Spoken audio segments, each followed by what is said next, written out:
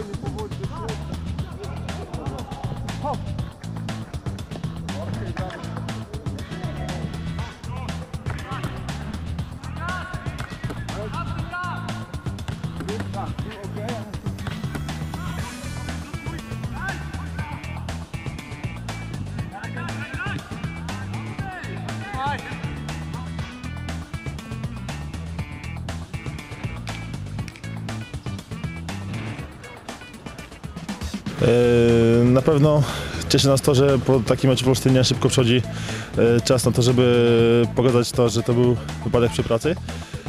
Wiadomo, że teraz mamy słabszy okres, ale to musiało się zdarzyć, bo nie można wygrać 15 meczy na wiosnę, także na pewno ten dołek musiał przyjść. My na pewno no, nie przyjdziemy do tego na, początku- na początku dziennym, tak? Yy, Każdy stara się wykonać swoją pracę jak najlepiej na treningach. Yy, I mam nadzieję, że pokażemy, pokażemy już ten charakter i wolę walki z poprzednich meczy, tych wygranych, teraz meczu w środę.